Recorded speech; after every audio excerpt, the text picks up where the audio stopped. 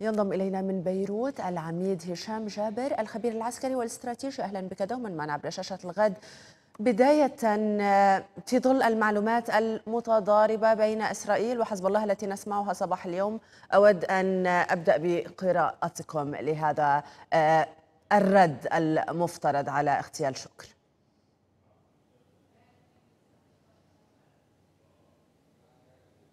اولا صباح الخير. ثانيا أتى رد حزب الله الذي كان منتظرا منذ أكثر من ثلاثة أسابيع.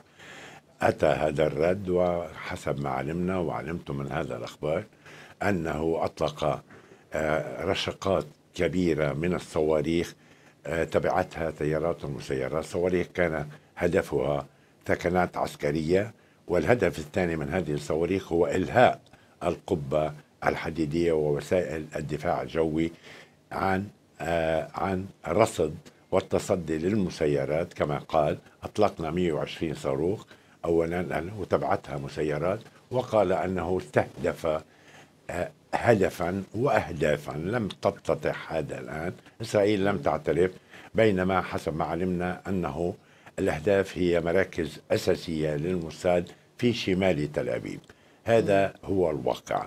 وكما سمعتم من مراسليكم أنا لن أزيد عليها فأعتبر أن إسرائيل حتى الآن استوعبت هذا الرد ولن يكون هناك أنا أخالف رد ثاني من حزب الله على الأقل يعني على المدى القريب بانتظار الرد على الرد. هذا يعني, يعني برأيكم إسرائيل نحن تنتظر أمام ردا إيرانيا. إسرائيل تنتظر أيضا حضرة العميد يعني تقول يعني نعم. ربما سيدتي هناك رد إيراني ربما سيأتي اليوم. مم. تفضل تفضل. نعم. لا نهاية. أنا أعتبر حزب الله رد على اغتيال شكر. وليس عليه أن يرد مثل ما سمعت بصلية ثانية من الصواريخ. عليه أن ينتظر الرد الإسرائيلي حتى يرد على الرد. وكما ذكرنا دائما وذكرتم آه، يسعى أن تكون هذا الرد على الرد كما حصل اليوم لا يؤدي إلى فتح الجبهة الواسعة لأسباب عديدة ذكرناها. ثانيا طيب. الرد الإيراني ربما سيأتي اليوم غدا. هناك الرد الحوثيين أيضا الذين لم يردوا بعد على تدمير ميناء الحديدة. الوضع بحالة ترقب تام في إسرائيل. إسرائيل تعتم على المعلومات عن الأهداف التي أصابها حزب الله لأسباب عديدة يمكن. كما علمنا بالخريطة إذا نظرنا إلى الخريطة لفلسطين المحتلة نجد أن استهدف حزب الله أماكن عديدة بالصواريخ آه، المألوفة كما يستهدفها دائما. أما هذه المرة فاستهدف هدفا غير مألوف خارج عن المألوف وقال أنه أنجز المهمة كما هي. نفهم منها كما ذكرت لن يكون هناك آآ آه، آه، يعني صلي ردا آخر قبل انتظار الرد الإسرائيلي. هذا هو الوضع الميداني حاليا. نعم. أستوضح منك يعني عندما يقول حزب الله أنها الجولة الأولى من الرد. هل ذلك يعني أنه تمهيد للرد الإيراني الذي سيشارك به حزب الله في الجولة الثانية؟ إن, إن يعني آه، أردنا تحليل ما, ما, ما وراء هذا الكلام أو ما يمكن أن نرتقبه في المرحلة المقبلة.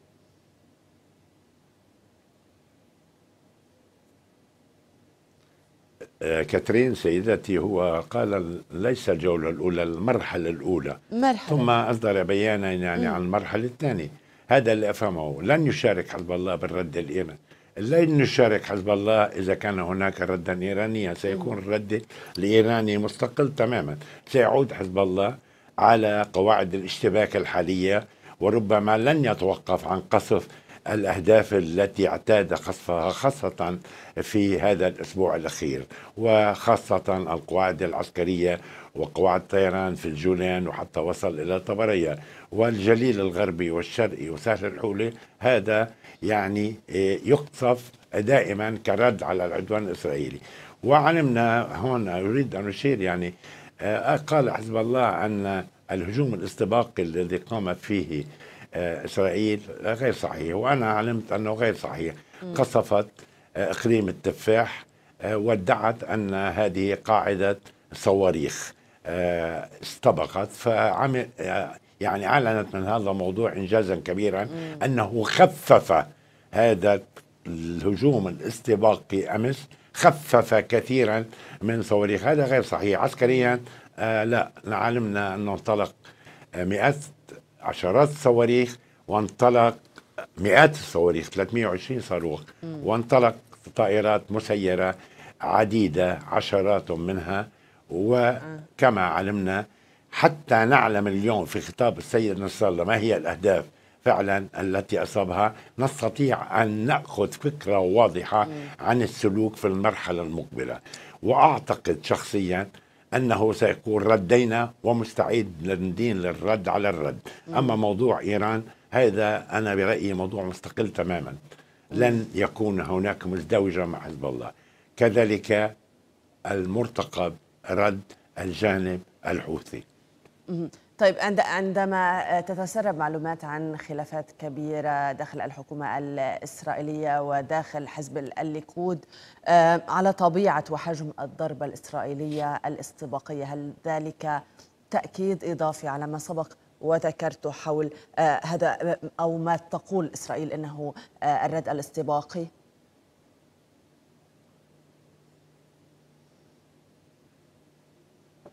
نعم نعم. مم. نعم هناك خلافات لأنه كمان الميدان يشهد يعني وشيء ما أنا لم أرى أن هناك هجوم استباقيا غير مألوف أدى إلى شل قدرات حزب الله الصاروخية خاصة بالأمس وأول أمس ورأينا اليوم ما حصل.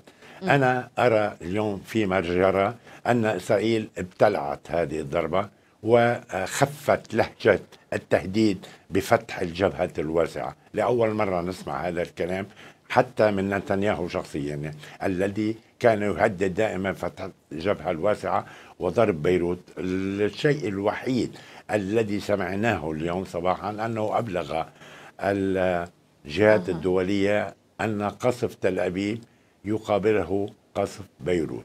هذا هو. إنما طيب. هل قصفت تل أبيب أم ضواحي تل أبيب؟ لأنه سمعنا شمالي تل أبيب يجب أن نتأكد وأنا متأكد أنه لن يكون توسعة ولن يكون هناك ضربا دعني فقط إطلاق. أتوقف عند العجل الذي نتابعه مصدر لهيئة البث مصدر لهيئة البث الإسرائيلية يقول انه رسالة إسرائيل من جهتها انه الهجوم انتهى والقادم يتعلق برد حزب الله. آه، كيف تقرأ مثل هذه التصريحات؟ خاصة أنه منذ يعني آه، حوالي أساس. سمعنا لنتنياهو يقول أنه آه، يعني يعني سنرد يعني على من يرد علينا. بما معناه؟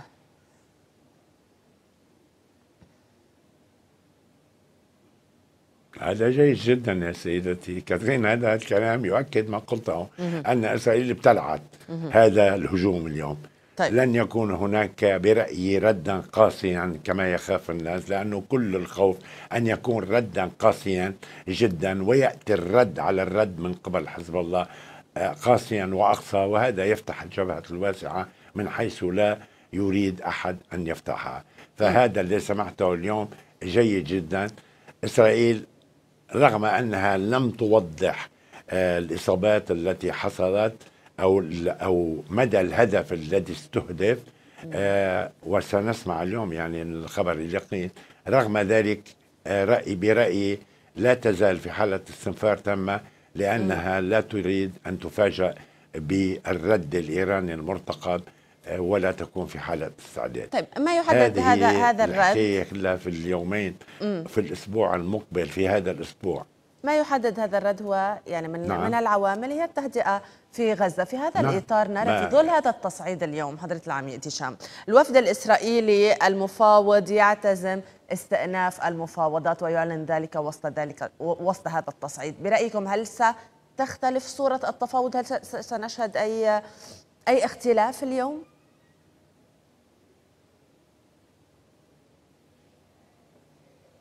لا لا أتصور يعني مم. الموضوع الخلاف كبير بموضوع الهدنة في غزة يعني كمان على لا يزال الخلاف مع مصر يعني كنا كانت إسرائيل لديها مشكلة مع الفلسطينيين هناك فجوة كبيرة بين ما يعرضه الإسرائيليون وما يقبل به تقبل به حماس وخاصة السنوار يعني هذه الفجوة يلزمها تقريب بعكس ما يشيع الأمريكيون أن آه، أجواء تفاؤل ثانيا المشكلة مع الجانب المصري لا أعتقد أنها حلت بعد. الذهاب إلى الدوحة والذهاب إلى المفاوضات من قبل الوفد الإسرائيلي تحصيل حاصل حتى لا يقال أنها وصلت إلى طريق مسدود ولا مجال لبحث المفاوضات برأيي كل ما عرقلت هذه المفاوضات كلما آه، بضغط من أمريكي استمرت المباحثات عسى ولعل. إلا أنني لا أجد فيما جرى اليوم دافعا آه، لبحث المفاوضات أو دافعا لإنجاحها. هذه برأيي مستقلة تماما. مع أنه مع أنه إذا نجحت المفاوضات ورفعنا سقف التوقعات يعني وكنا متفائلين ما في شك أن إذا نجحت المفاوضات سيكون لها تأثير إيجابي جدا على الجبهة في شمال فلسطين المحتلة.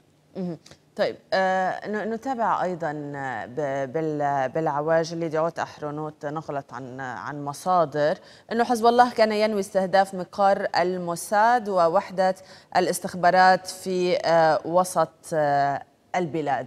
آه برأيكم هل هل هذا هل هذا كان المخطط آه، حزب الله؟ هل إسرائيل كانت على دراية؟ هل يمكن أن تكون قد تحضرت لهذه آه، الساعة؟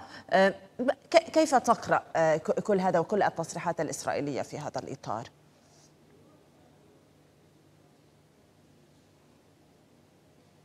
هذا شيء طبيعي يعني أنا بس رب كان يخطط ليستهدف.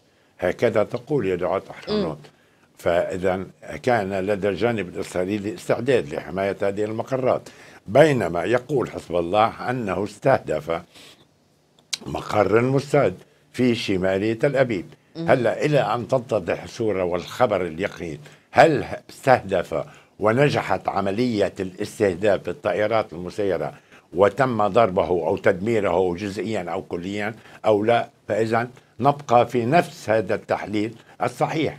كان يخطط لاستهدافه واستهدفه هل أصابه هل دمره؟ هذا هو الموضوع. حتى لو لم يدمره آه هذا يعتبر إنجاز أساسي لحزب الله أنه يصل إلى عمق البلاد إلى وسط البلاد إلى شمال تل أبيب ويستهدف مقرات عسكرية أساسية. يقول حزب الله حتى هذه الساعة أنه استهدف 11 مركزا أو هدفا عسكريا. لم نعلم أين هي. ربما هذين المركزين الموساد وغيرها آه، ربما من هذه الأهداف ال11 التي أعلن عنها.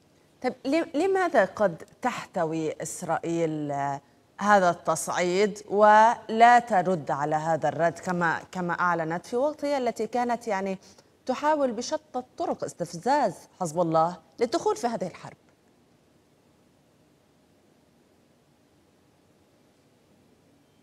تماما تماما. لماذا تحتوي؟ لأنها تعتبر إذا كانت سترد ردا قاسيا. أول شيء بانتظار هي الرد الإيراني. لا تستطيع أن ترد يعني قبل أن تتأكد هل هناك ردا إيرانيا قريبا هل هناك ردا حوثيا. لا تزال في موقع الترقب قبل الرد على أي شيء. وربما سترد على الثلاثة معا إذا حصل يعني دفعة واحدة.